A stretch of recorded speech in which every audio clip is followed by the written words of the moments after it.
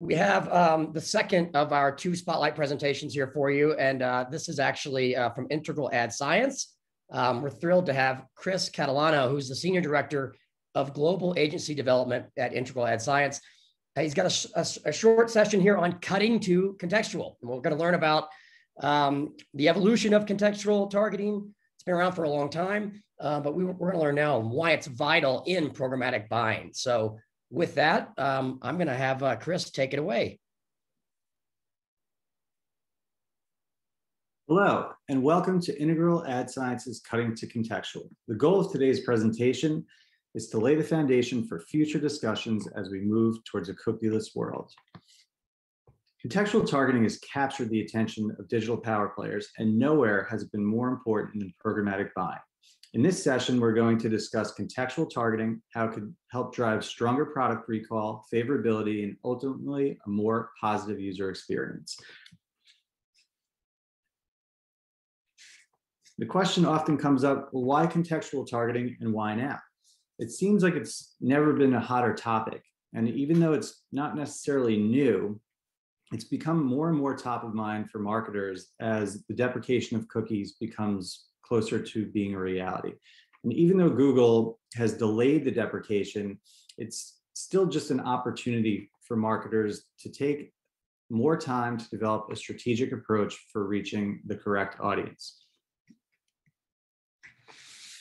And again, audience, it really comes back to the consumers. It starts there and it ends there. And consumers want to have a positive online experience. In fact, nearly three quarters of consumers say that it's important for their ads to be personally relevant.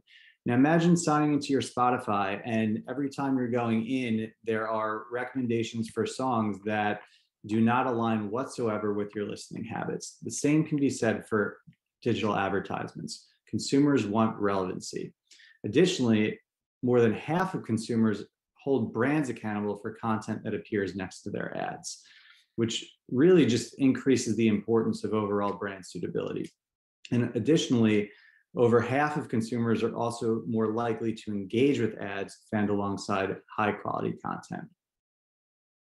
So as we mentioned, contextual targeting isn't new, but with its resurgence comes new and better technology. Now there are a plethora of options out there for marketers to utilize, and we're going to discuss Integral Ad Science's context control solution, which is our contextual targeting solution. Now, the key difference here is that you know we're a dynamic technology and we're looking at page level analysis. So we're scoring the entire page, looking for relevant content curated across the web. And the, the dynamic element means that it's constantly being refreshed. We have over 200 industry vertical, seasonal, topical, and audience proxy segments, which we'll get into in more detail in a few minutes. And the biggest call out really is the accuracy. So, you know, marketers need to be confident that if they're, you know, utilizing a segment, that it's actually the type of content that they believe to be buying. And IAS's solution was found to be 42% more accurate as uh, commissioned a third party study by the Ozone Project. And then we're also taking into account through that page level scoring, sentiment and emotion. So a deeper classification of content, which really helps advertisers tailor their messaging. And we're integrated with all the major global DSPs that programmatic traders are buying.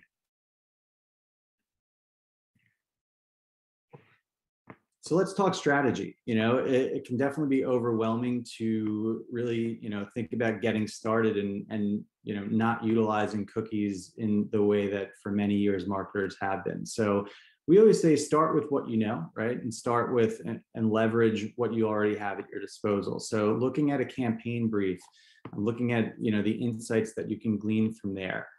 Uh, we're also, you know, big proponents of testing your options so test and learn. So you want to identify you know a number of segments that could be of potential interest to test based on the objectives that were outlined in the campaign brief. Now you can choose as many segments as you like. You always want to keep scale in mind um, just because you know the, the more segments and the more relevant content to your consumer the larger audience you can effectively reach. And then you know as you start to get more tactical it can certainly be, you know, applied across an entire campaign, but you can also go deeper and you can really strategize based on the different audiences you're looking to reach. And here's a great example of, you know, a contextual strategy for a travel advertiser. Now we mentioned that there are a number of different types of segments that IAS offers, the seasonal, vertical, topical, and audience proxy. So when you're looking at a travel advertiser, you know, here's an example of an article that we are fully analyzing. And you can see that, you know, you're able to really hit on each of these points without using cookies whatsoever. Um, so you're reaching, you know, an audience that may be a casual traveler while also being able to tap into, you know, the increase in remote working content that we've seen. Now let's see contextual targeting in action. We've gone through, you know, different strategies that you can start to implement. We've given examples. So now we're going to dive a little bit deeper. And as I mentioned, we have a number of different segments available industry vertical are definitely ones that are going to be specific to the advertiser. Um, so, you know, you want to obviously target auto content if you are an auto advertiser. If you're a travel advertiser, you're looking to target travel content.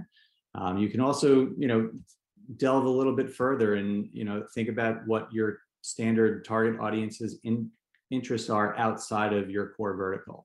Um, and again, we have over a hundred of those readily available. And then they also include, you know, a brand safety element as well. So a, an auto segment is going to avoid negative content around car accidents or recalls for auto. And then we have, you know, another popular solution is our audience proxy. So especially with the deprecation of cookies, uh, these are really meant to be an extension of, you know, what an audience is interested in or maybe a specific life stage that they're in. Um, they're going to be related to topics and you know focused on content that the consumer cares about. So someone like an expecting mother is not going to just be looking at pregnancy articles. They're going to be looking at everything from daycare to early childhood education options. So these really encompass everything that that desired target audience would be interested in. And then we also have tactical targeting. Uh, so, you know, topical segments, we mentioned remote working, we have diversity inclusion segments. These are all examples of marketers being able to really take advantage of the explosion of a lot of um, these content categories.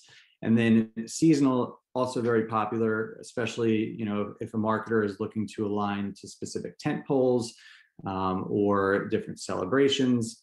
Um, so these are all different ways that you can utilize contextual targeting to reach your audience relevantly.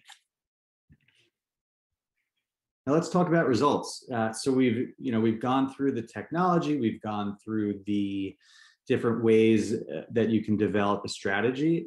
And the great thing is when we see these segments in action, we see results.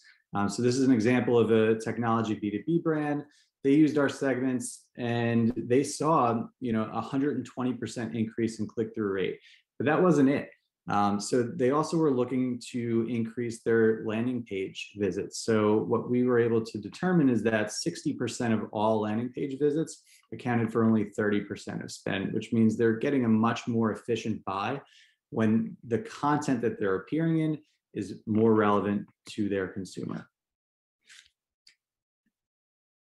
So a few key takeaways. Obviously, third-party cookie deprecation, even though it's been delayed, it's still going to continue to shape the future of digital. And with app cookies, we're going to need to continue to pivot towards evolving tech like contextual targeting. Really now is the time to begin exploring how to expand those strategies and really dive a little bit deeper into contextual. And then closing, really the precise understanding of content is truly critical if you want to connect with your audience. You want to make sure that where you're running is where you think you're running. And that's able to be done by using a technology partner such as Integral Ad Science. I want to thank you all for taking the time to join us today.